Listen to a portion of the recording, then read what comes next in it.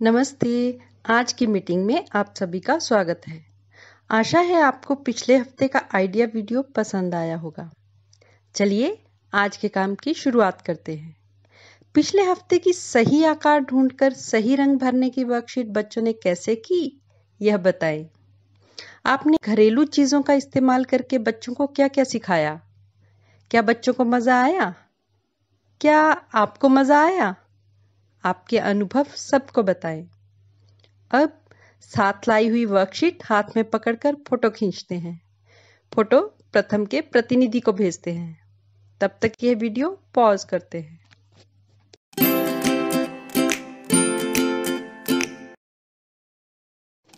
हमारी इस गतिविधि का नाम है करके देखते हैं। सभी माताएँ एक लाइन में खड़ी रहें। ज़मीन पर चौक की मदद से 10 फीट लंबी टेढ़ी मेढ़ी लाइन बनाएँ। प्रत्येक माता हाथ में एवं सिर पर घरेलू वस्तुएँ पकड़कर चले, जैसे सिर पर किताब रखकर और हाथ में पानी से भरा हुआ गिलास पकड़कर चलना। सिर पर कटोरी और हाथ से कागज़ की तह लगाते हुए चलना। सभी माताएँ यह खेल खेलें। सभी मिलकर यह गतिविधि और मनोरंजक कैसे हो, इसके बारे में सोचें एवं चर्चा करें। आशा है यह गतिविधि सभी माताओं ने आनंद के साथ की होगी।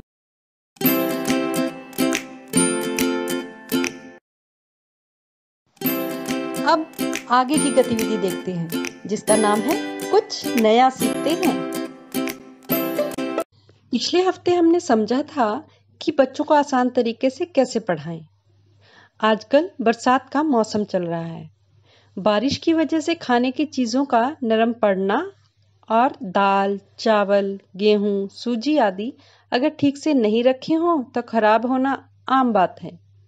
आइए इस वीडियो की मदद से इन्हें खराब होने से बचाने के कुछ सुझावों को समझ लें।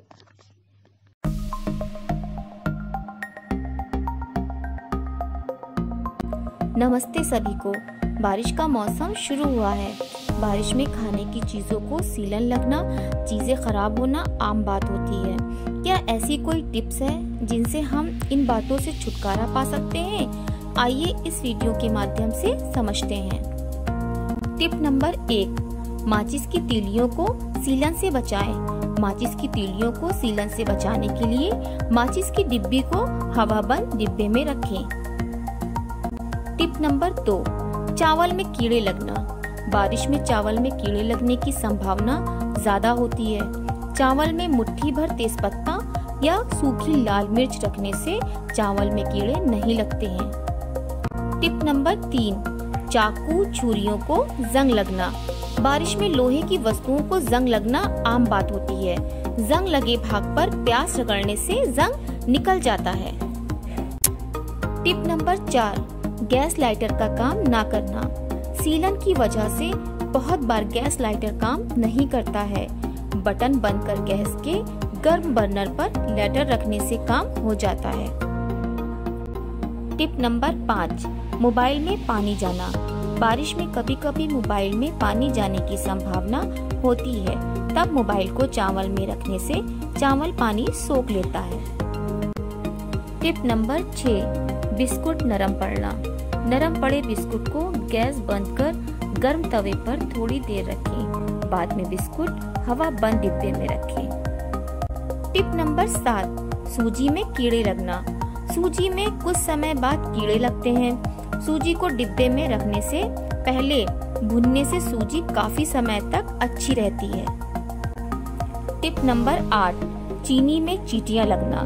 10-12 लौंग चीनी के डिब्बे में रखने से चीटियाँ चीनी में नहीं घुसती हैं।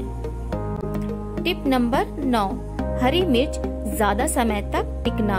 फ्रिज में रखने से पहले हरी मिर्च के डंठल निकालकर कागज़ में लपेटकर डिब्बे में रखने से हरी मिर्च ज़्यादा समय तक अच्छी रहती है।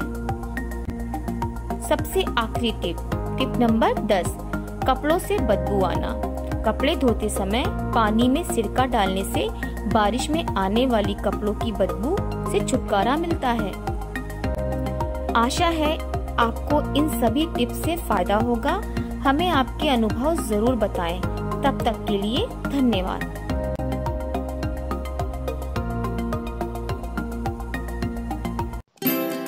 चलिए अब आगे की गतिविधि देखते हैं, जिसका नाम है घर जाकर बच्चों से कराएँ। चित्र में दिखाए अनुसार बच्चों को कागज़ पर चित्र बनाकर दें। उन्हें चित्र गिनकर सही अंक पर गोला लगाने के लिए कहें। वर्कशीट पूरी करने के बाद अगले हफ़्ते वर्कशीट साथ लेकर आएँ। क्या बच्चे ने यह वर्कशीट करने में आनंद लिया? यह अनुभव हमारे साथ अवश्य साझा करें। आज की गतिविधियाँ यहाँ पर समाप्त हो रही हैं। ऐसे ही और नई जानकारियों और गतिविधियों के साथ अगले हफ़्ते फिर मिलते हैं। तब तक के लिए अपना व बच्चों का ख्याल रखें। धन्यवाद।